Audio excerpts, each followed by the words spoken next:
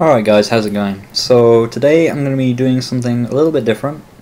Um, some of you might know, or most of you might have seen, I suppose, the video I put up recently where uh, I entered Ludum Dare. It's a 48 hour game jam. You have to make a video game in 48 hours. And I, I made like a time-lapse video of uh, the game that I made, made of all the, the footage I'd recorded because I I streamed the development live on uh, Twitch TV forward slash ShaunJS, which you can follow if you want to see any of my, my streamed content. I stream sort of kind of irregularly, but now and again I do a bunch of like gaming stuff and uh, sometimes game development things as well. It's kind of a bit separate from this channel, but anyway, off topic. Uh, I, I streamed the whole thing live, I recorded a bunch of footage, and I did this time-lapse video, which showed like 48 hours worth of game development squashed into um, about like six, what was it, like like three or four minutes or something worth of time. And uh, what I've done today is I'm actually going to sort of give some commentary on that time lapse and talk about what it was like really to take part in uh, Ludum Dare and what it was like to. I'm sure I'm not pronouncing that right. I think it's meant to be Ludum Dare or something. I'm, I'm not sure. Uh, but what it was like to take part in that game jam, and also just to kind of give an insight, I suppose, for a lot of people on the beginning, middle, and end of making a thing quickly and the, the bare bones of it. Because that's essentially what you're doing when you enter a game jam. You just you're, you're making a complete product in a very short space of time. So everything involved in a complete product needs to essentially be there um, at a very basic level. Um, doesn't always work out that way, of course, but um, my game worked out reasonably well. Like the game itself isn't super fantastic, but it like it's it's pretty complete as far as you know, a lot of like entries might go. Um, so yeah, I was just gonna give a bit of a walkthrough on what I did and how I did it, and sort of give an insight into how it's possible to to make a full thing and in that sort of space of time, and also just as I said to give an insight to like the beginning stages, the middle stages, and the end stages. Even though it's all compressed into this short space of time, um, I think it might be useful anyway, and might give some insight. Uh, so what I've done is I've taken that time-lapse video and I've stretched it. Uh, I've like kind of doubled its length, so I've kind of slowed slowed it down by like fifty percent. And uh, I'm basically just going to play it back and pause it now and again just to talk about stuff and talk about what's going on when what I'm doing. Um, before I actually play it to begin with, um, I'll just say like a bit about coming up with the idea because I didn't start streaming until about nine hours into the competition where I'd actually settled on what it was I was going to do. The theme, no one knows the theme of uh, or the theme that your game has to kind of cohere to until the timer starts, so that you you know you can't really start working until you know what the theme is, right? So and over in the UK, the theme gets announced at basically 2 a.m. just because of how time zones work and so on. Uh, my plan was to hear the, the theme and then go straight to bed, think on it, wake up, and then, you know, think on it some more and start working. Didn't really work out that way. I heard the theme, uh, thought about it for like three hours, um, then at like 5 a.m., I think, um, maybe later than that, I think it was like 6 a.m., I went to sleep, then got up a few hours later, um, like two, three hours worth of sleep, maybe most and uh, and then I started cracking on. I, I started working. I'd pretty much settled on what I wanted to do at that point. And this was about nine hours in, I think, overall into the competition. So, yeah. First of all, a lot of time is actually just spent just thinking and planning. When you enter something like this, you don't have to just start right away. Um, I didn't really use a design document. Um, a lot of people, you know, there wasn't really time for that. I'm not really the biggest fan of design documents in general. But um, I mean, I wrote a few notes down, but it wasn't anything major. It was mostly just like so I could remember my ideas as I was going through them.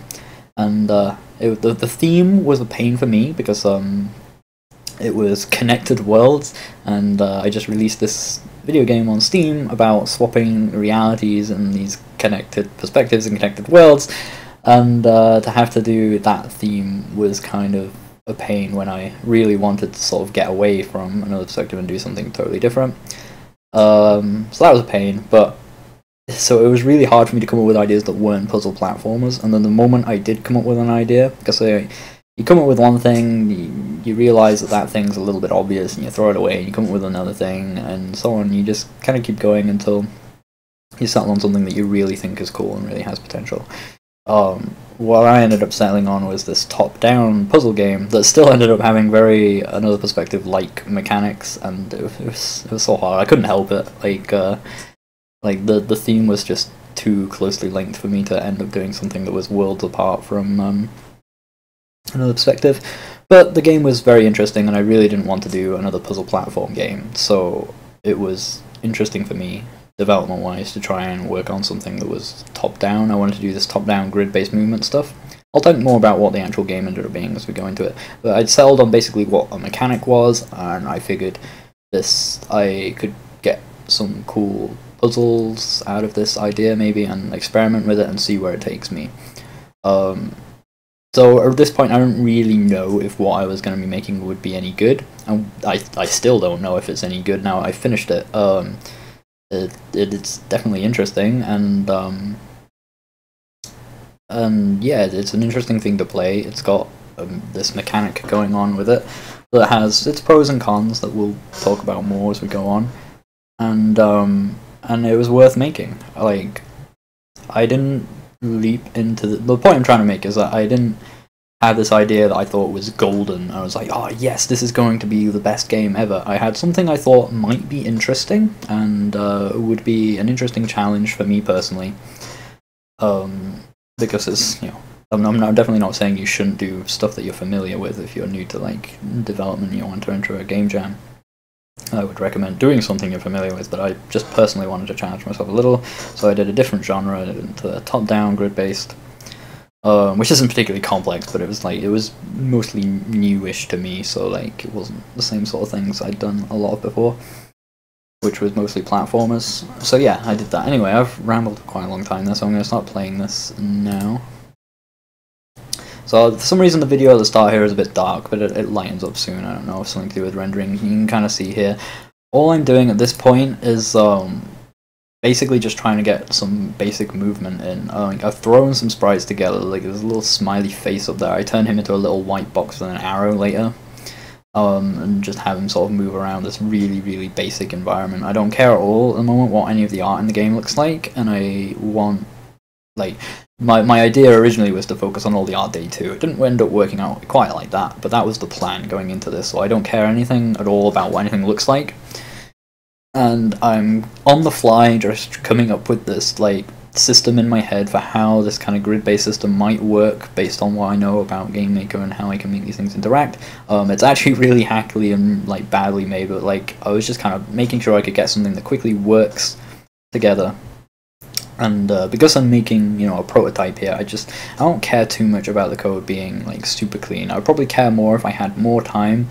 But one of the nice things about having this time restriction is it forces you to kind of you know play to how much time you have and just worry about making things work, which is really all that's ultimately that important at the end of the day.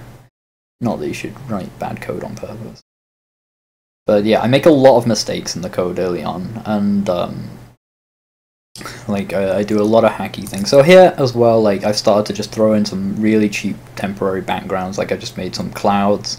Um, that I uh, I made some blue clouds and I made some red clouds, and I intended these to be temporary. I did not intend these to um, be in the final product. I thought I would do some much more fancy, much more pretty backgrounds, but I was just doing this for now because the idea behind the mechanic is I want to have this thing where you shift between different worlds as this one character.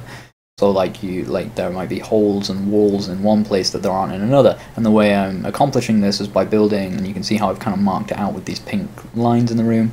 I'm building a, a room that's like four times the size of the, the viewport and I'm just gonna shift you from one to the other like that. Just because that was the easiest way I could think of to kind of, you know, do this mechanic and get this mechanic across the moment I'm kind of working on like this idea of like uh, just swapping between these two worlds. I've got like a little red key over here and a red door over there, and I just all I want at this point in time is to create a system where I can move around nicely. Um, I can swap to this world. I can pick up this key. I can swap back and go through and like finish the level. I just want that because that is the mechanic I'm trying to work with, and then at that point I want to start experimenting with it and just seeing what I can do with this that's interesting. Um, and a lot of those clouds I intended to be temporary didn't actually end up uh, making it into the final game just because I didn't have time to really do any anything that was much fancier. But I I adjusted for that as kind of aesthetic, and uh, I I kind of you know I feel like it works reasonably well.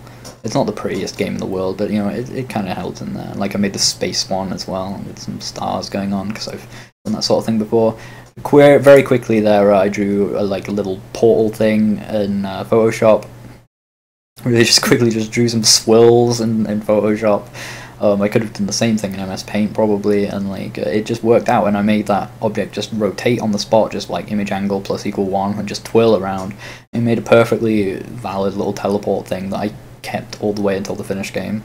Um, again, it, intended as placeholder ended up being fair enough for the, the game. So that you can see the little arrow man I've got here. That stays that way. The player character is this little arrow in a box all the way until I've got like four hours left to go. I make the, the player character artwork somewhere in like the last four or five hours of uh, the competition. So yeah, like I've played around with like uh, you can see me here doing some like temporary artwork, um, just because I'm trying to get a feel for what the game will look like. Even now, this stuff is kind of temporary, but it was important to me for me to work out how these walls were going to tile. The moment I'm trying to create like a little wall tiling system, um, which you've you know seen I've done tutorials on before. Um, so I'm going to create a little simple script that will tile these walls together. And at first I approach it trying to do this sort of Zelda-like thing, like top-down Zelda, and you'll see in a minute. You see me building all these things. Um, Game Maker crashing a few times, but you can see how it like looks here. Like this was the look I was going for, and then this was the problem. This area here was what I ran into. Was like, oh, if I do this style of wall, I can't really have like inner sections like this or inner inner walls. You know, thinking back on the levels that actually exist in the game, that I might have been able to work around that, but it would have been a restriction that would have been a pain to work with. Um, because if you think about it, if I put like a wall like this, like in this square here, it doesn't make any sense that you can then see the, this tile behind it if you know what I mean. Like, and especially with these walls, if I put that one here, if I surrounded this with these kind of walls, it would seem like almost like this was a raised platform or something and not something in the middle, and like you would want this to be black. So the only way to do it would be to stretch down and put those walls like down here and have black up there, so that it still felt like it took up a whole tile. And then I would have to like make it so you could like walk behind this blackness here and like kind of make it a bit more 3D and projected than what I was going for. I wanted a proper top down. Um, but I was conflicted with that idea because I knew when I wanted to do this character, which I had in my mind being this little wizard guy, I kind of wanted to do this kind of like old school RPG style of kind of like view projection, where it's like almost not proper top down and like you can kind of see more of the character. Because true top down characters, like it's it's hard to really draw them in a way that looks good. Like, like I, I, would I would have just drawn a wizard hat and some shoulders. Really, I suppose if you think about it top down, and it's hard to give a character like that personality. So I, I ended up going for, as you'll see here, like I decided that this wasn't going to work. So I create this style of wall instead. Um, and you can see going on here, which is like actually more straight, very strict top down look to it um, with just these like bricks and then like this this blackness and space instead. Using just very very simple code that just like adds up bitwise like the four directions around it and just checks how many there is and works out which object it should be based on a number between like 0 and 15 um and yeah. So this point again, I think what I'm trying to do here when I'm drawing all this surface stuff, and I was looking at an example there, someone did was a brief, brief flash of it, is I'm trying to get this transition to be smooth and nice so that it like fades between the worlds, because that was very important to the feel. I didn't want it like, because it was just, at the moment I had it so like you could snap between these different worlds, that I built up, but um, it like it didn't, it didn't feel very great or anything. So I wanted it was very important to me that that transition felt good because it was central to what the game was about. So I did this really, really hacky kind of solution. I, I don't know how bad it actually ended up being, but like it, it worked at the end of the day. But I do this really hacky thing where I have two views, and I use one of the views to constantly be drawing the uh, screen to a surface, and then I use that surface to kind of act as a transition type thing, and, and and sort of draw it over the screen and fade out the alpha whenever I'm shifting between worlds. It's really hacky and stores like a lot of stuff in there. Like I'm storing the screen like constantly in memory, like every frame. But it, it worked and it wasn't a huge performance killer. So you know, at the end of the day, if you're doing a jam, that's what counts. make make your thing work. Um, so yeah, at the moment I'm still playing with that, trying to get that to work properly. And then I'm also just starting to play around with level design. So I'm building levels, seeing what would be interesting. Um, trying to work out a good introduction to the game and work out like levels that um, introduce this mechanic well. Like here, I play around for ages with this first level, just trying to think what makes it right and what like first. I ended up getting rid of that first level and just replacing it with um, a level you might have seen a little of, where it's like a bridge, like you walk across a bridge. Um, I don't know if I'll be able to capture catch it. You might see it at some point. I don't know. Uh, yeah, here I'm working with like uh, this level here uh, working with this idea that like you know you can walk to this edge and then swap and end up on this edge, walk to that edge, swap, end up back over here, and then you can walk up and so on. You can kind of see so it's like meh, meh, swap to here, meh, swap back to here, grab the key. So like I had this idea, like this idea. I have these four worlds, but like when I started like prototyping ideas with four worlds right away, it was obscenely complicated way too early. So almost all of my early worlds, in fact, most of the levels in the game revolve around two worlds as opposed to like three or four. But there are a few that handle three or four, and those are some of the more interesting ones. But they're just way too difficult for anyone to get a hang of it right away. Oh yeah, so here I take a lunch break and I watch uh, my friend, some of my friends playing Street Fighter 4 at a tournament nearby. Uh, I care a lot about that game, and uh, it was good to watch some of my friends play. but uh, yeah, that was just while I was eating dinner. So here I make a, an interesting level that like um, don't see much of it. Like this level here was like, oh, if I can, right here we go. Yeah, this level here where like there's a big flat space and some like little squares going on here. And the idea was like um, you would have to kind of use uh, walk to the right place on here, so you'd have to remember where the key was. Walk to the right place on here, then swap back to this world, grab the key, swap back to this one, walk to the other key, swap back, grab that key, and so on. And it was a cool, interesting memory game. And it was at this point I felt like I was starting to learn more about what this game wanted to be, wanted to be, and what the interesting stuff about this mechanic was going to kind of be about. And it was going to be about uh, memory and remembering what was between these two worlds and how to make them interact. Because there wasn't really all that much challenge in just doing uh, the levels as they were, because you could kind of you know, scan ahead and swap, like, and just work out where you needed to be and just sort of do it. So here, yeah, I'm just doing a lot of level design tweaking, probably way more than was necessary, but this is the sort of thing that's just important to me in games, so I was doing a lot of tweaking with levels, trying to get them to feel right. I made this one level that just flashed by there that was really, really satisfying for me, because it created this beautiful little pattern as you did it. Of like horizontal lines and parallel lines intersecting, you would use that to get across the level.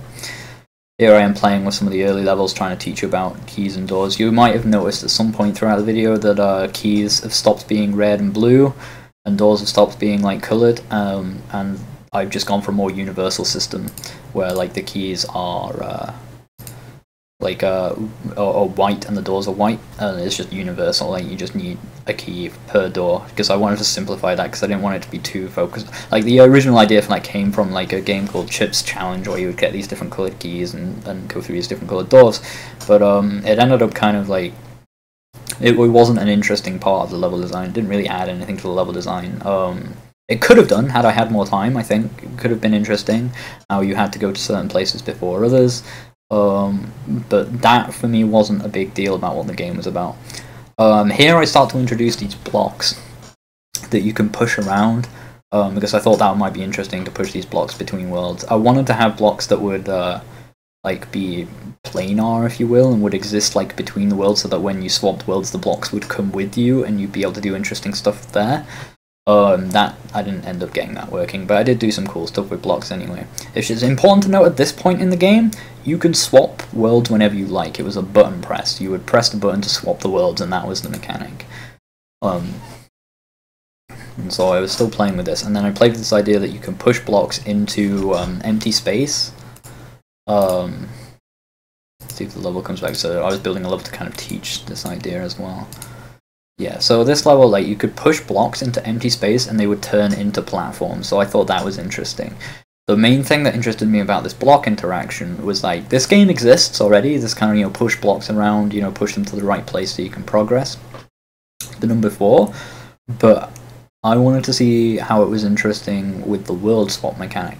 So like normally here you'd be a bit stuck that you couldn't get to this square to be able to push this block to the left, but by swapping worlds you can come down into here and get into a space that you otherwise wouldn't be able to. And just stuff like that was interesting to me. So that was the sort of thing I was sort of playing with. Here I am still doing just level design at this point. I'm not really adding too much to the game in terms of features. You saw me do a bunch of coding when I was adding those blocks, but you can see here I'm strictly just doing stuff in the editor. I'm just moving stuff around. I've got a lot of stuff already set up that I did quite early just to make platforms work, make stuff like move around properly. You can move around in the game, you could do the main mechanic, and then once I had that, I wanted to see how much I could get out of just that. How much content could I squeeze out of this like mechanic that is still interesting and not like super fillery or anything. There I am playing around with this like third world idea. I'm trying to come up with a more more complicated version of the uh, the block puzzle involving like three different worlds that you had to move between. Ended up being really hard level. Uh, here I create a level that's like completely trial and error and was horrible, and I ended up taking it out of the game. Took a lot of levels that I made out of the game.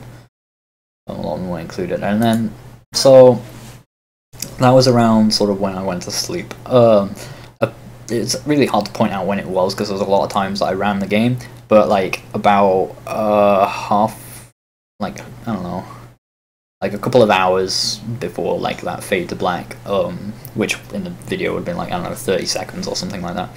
Um, my housemate Josh came home and uh, I had him sit down and play the game because that's a very important. It's it's one of the reasons I would probably never try and do like a progressive like progression puzzle based game um, for a jam again because to me playtesting them is like completely essential to the process of designing one like and it's not good enough to just have people play it and give you feedback. It's playtesting as in someone sits down plays your game and you can sit behind them and watch and learn way more about their interaction with the game than, than anything they could actually tell you that they thought about the game. Um, so I was very glad that uh, my housemate came home and was willing to play the game. Um, he sat in and he played it, and uh, he got through it. Um, and like a lot of my early teaching stuff was very successful. Like a lot of the level design ended up being very worthwhile, and it worked out really well. Taught him the mechanics pretty pretty well, as I wanted to. Um, one problem though, and it was a big problem, was that the game was just too easy. Like, uh, I mean, I'd spent so much time on this like nice difficulty curve at the beginning, the game was like super super easy and like it felt like there was almost no challenge involved in the game at all um, at some points like once you'd kind of learned how it works and it became a matter of like walk to the edge of this walkway swap to the other world walk to the edge of that walkway swap world and so on and it was especially helped by the fact that you could just stand at the start and mash the swap world button and like look at everything be- before you get it all in your head. And as long as you were patient enough, you know, you, th- there wasn't really much of a challenge there. And uh, I could tell that was it was very true. Like, um, and so at that point, like a lot of those final hours where I was playing with uh, level design, I was trying to think of ways to make the game more complex without making it just terrible. And so was when I was making that level that I talked about, that just ended up being this complete trial and error fiasco um, it wasn't good and it wasn't engaging. So like it was really distressing for me at that point that I built this thing that was too easy or too hard and never never in the space between. Just because of how the mechanics worked it was either like frustratingly hard to remember stuff or um, it was like super super easy to do things. So at this point i kind of had this really big problem that i needed to solve. Like how do i make how do I make this thing more engaging? And um, I was actually at this point, like like as I said, this was a really distressing problem because I felt like at this point I'd gone into this with this idea. I took this gamble, as I said, and I, I still think this is a good thing to do. That um, I didn't know if this idea was actually going to be any fun or not when I was making it, and I was starting to worry that maybe you know there's no repairing this in this game. You know, it's it's not going to go anywhere or be any interesting. Um, I was really exhausted by this point. Like I'd had like, so, like I'd had so much like sweets and junk food and stuff just sort of keeping me awake working on this thing. Not something I would super recommend, but definitely was a thing that got me through uh, energy wise. But um, up until the point where it's just like, no, I need to get some actual good sleep. So um, I decided, you know, screw it. I'll, I'll sleep on this problem. I'll wake up, come it with fresh eyes, and uh, that actually helped a lot. So this is the first time I actually got a good amount of sleep. I got like a good like eight nine hours of sleep. But this did leave me with like less than I mean I think I say in the video. Need to start working here. Mm, less than 10 hours remain. Yeah, that was basically right as I woke up after those. Like, I worked long enough and then slept 8 hours that after I got up, I had about 10, maybe 12, like 10, 12 hours left to go. Um, but I came up with an idea, and um, I think I did it in the early minutes of this as it was fading out. That um, in really early in the morning, I well, I think it was. Early, I'm not actually sure where, but it was somewhere in the second day anyway. And this was a pain as well because like I had planned for the entire game to be sort of functionally complete into the second day, and that I was just going to work on artwork and presentation. That is still mostly what I ended up doing, but there was still a lot of level design stuff, a lot of levels that needed adding to the game, a lot of stuff that needed to be really worked out about what the game was meant to be. So the prob the solution to the problem that I came up with, and whether or not it, it really worked, I don't know. Um, but it definitely changed things up, and it definitely made the game feel very different. And I'm glad I came up with this. Was to make the uh, the world swapping time based. So every 20 seconds or so, the world would just swap between the worlds, and you wouldn't have control over it anymore you wouldn't have that same sense of agency where you could stand in a safe spot. Because I'd always designed the levels so that you were always safe at the beginning. Um, like if you like if th there was no way for you to move to a spot uh, from the beginning of where you spawn in a level to somewhere where if you then swapped, you would fall right away without having had that information first. So you always sort of start off on like a small limited platform or something like that, and then you would be able to swap and then see ahead of what changes. So like you you actually have access to all the information. And uh, that actually worked out really well when I decided to make this change and make it so that you had no control over the, the swapping, and the swapping would just happen with or without you. Um, and then the game became much more focused around these interesting like memory challenges and this stuff I was talking about earlier that was um, interesting. So now that I had this like fundamentally sort of changed system, um, this obviously had a big knock-on effect to my level design, and uh, it completely altered the way some of the block levels work. But I'll talk about that a little bit later. So here, after making this sort of big change to the level, I need to. Uh, I'm starting to do what day two was meant to be about, which is work on presentation. And I decided to build like the like a menu screen to the game, and I decided what would both be very efficient and uh, very um, fitting for the game and effective would be to build the game menu as essentially a game level that would sort of teach you about this whole um, world swapping mechanic in the menu itself. And uh, because like my menu doesn't really need to do much it only needs to allow you to start the game and leave the game. So i could i figured i could just have two portals that would exist on this screen that would let you like move out of the level um, and into the game or allow you to quit the game and then that would be it and that's all i would need from this. So i build this sort of level based you know use some alpha like alpha mask text so you can see sort of the background in it to create this sort of nice effect with the text and then sort of I build this little level in, so like I build the start text and quit text here that you can like move towards and like activates those so you can tell what's going on. You see I built like the four worlds going in. Oh and at this point this is interesting. So what I decided to do now that I had this time based thing, you can kind of, you can kind of see it going on here. Um now that I have this time based thing, it was kind of like players need to know when the world is actually going to swap because like it just it was just just seemingly happening at random and I wanted to be able to like change the timings between levels and stuff.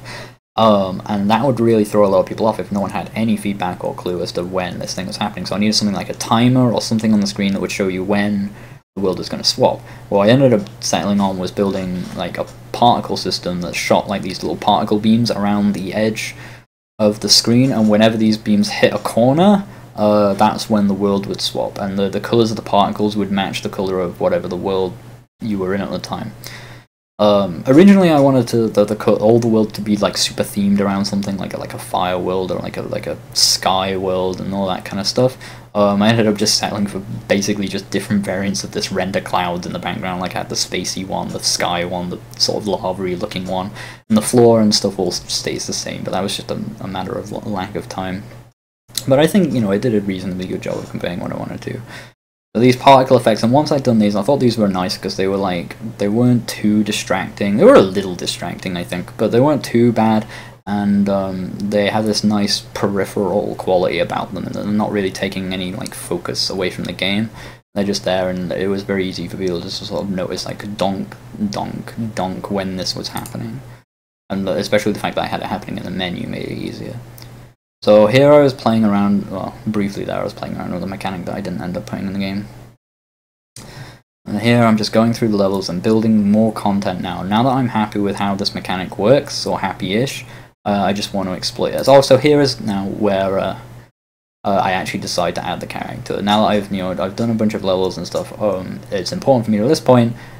Now I've got, like, probably at this point less than, like, five hours to go um, I don't want to end the game just having all these arrowed block, uh, arrowed uh, blocks that represent the player and moving around. So I want to create this little wizard.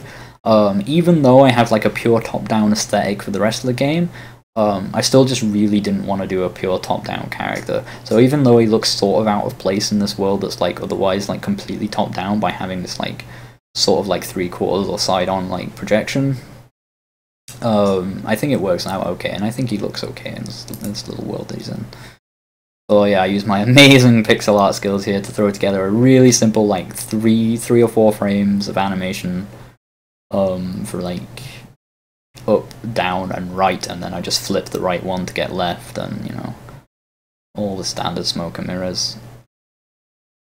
Change up the artwork of the doors a little bit. They don't, they don't really look great by the end, but you know they look more fitting than the, the placeholder ones I had. Changed the keys around a little bit as well. And then at this point, um, I decided to actually put some music into the game, and I like basically retrofit some music that I'd made for something else. I took the same sort of instruments that I sort of already had configured, and um, basically just produced some new sounds with them. What I produced was very rough and very simple. Um, spent ages playing with like a bass line, but ended up just settling for doing um, like instead of actually having like a quick repeating bass, just having this long doom doom doom doom with like a little melody that plays over the top. But most of the presence of the music is just taken up by this boom boom boom, and this had a really nice effect as it fitted in really well with the world swapping. This like periodic time.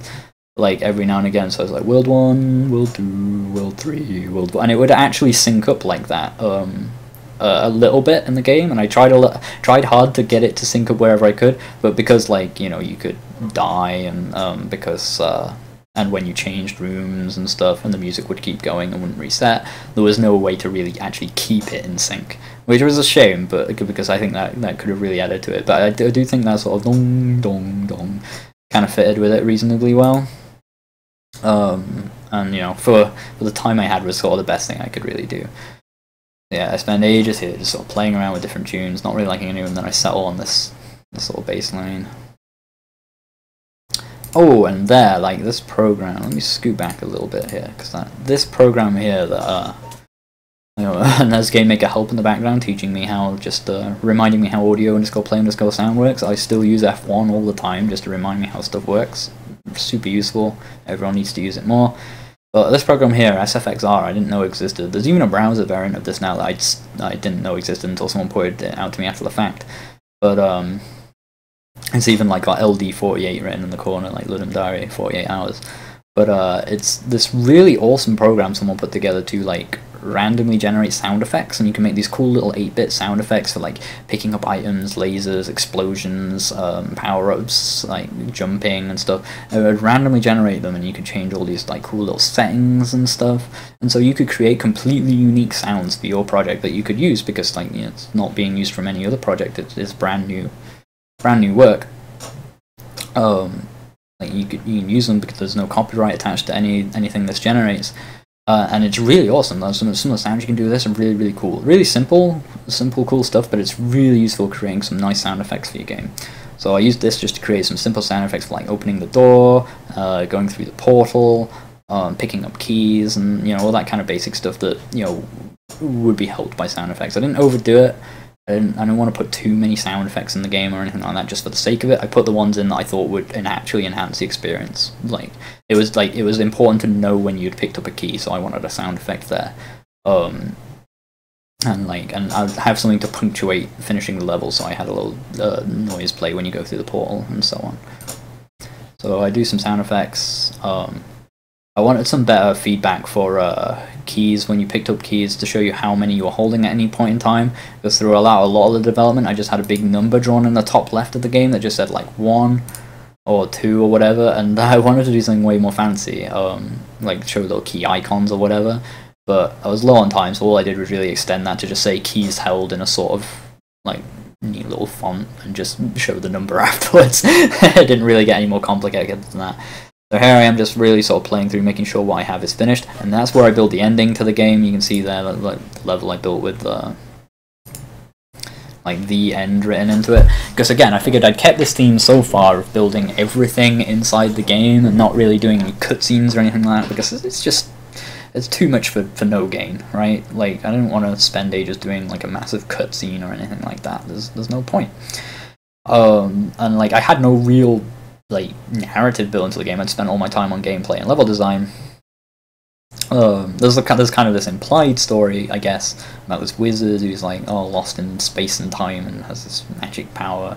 Uh, but, um, but really, it was just you know it was just a game about it was a game for game's sake, and uh, the ending, I figured, you know, it would be fitting to have the ending to the game be a level in the game, just as the menu in the game is also a level in the game. So I built this level that just says the end, and then jokingly down here also, like, you just make out here it says like the, and then it, it swaps to the world that says end, swaps to the world that says question mark at the end, and then the last world would actually have the portal that would allow you to finish the world. So you would see it in sequence because the world would be swapping like dum dum dum So you would you would you would see it in that order: the end question mark walk through the portal, and then I would just have it when you walk through that portal, the game would actually close, and that's that's as simple as I kept it kept it bare basics because it's what it's what I had time for, man.